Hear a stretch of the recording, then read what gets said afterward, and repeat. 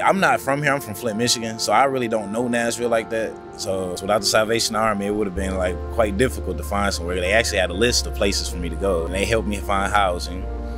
Cause like basically without them, I wouldn't have. I still would have been lost. I stayed in the apartments River Chase. You know, it came across that you know we had to move, short term notice, and that's when they were telling us, you know, come over to the building. Day one, from that minute that I walked in, they just jumped on it and just started helping, like from then and there. So they actually gave us like moving expenses and they paid the deposit for us to, and our first month's rent. Like I basically just had to move in. I didn't have to do any legwork, paperwork, anything. Well, except for signing a lease.